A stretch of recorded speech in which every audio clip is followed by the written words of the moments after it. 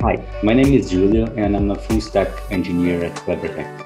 I used to work in a company where I had to go to an office and spend the whole day there.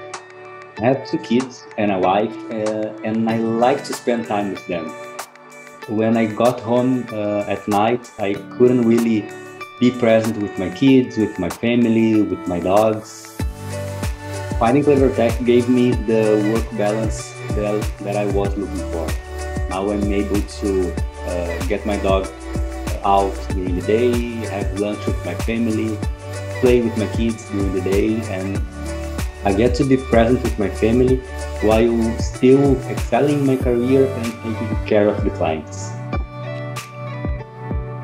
These small things that really matter for me, and I found it here.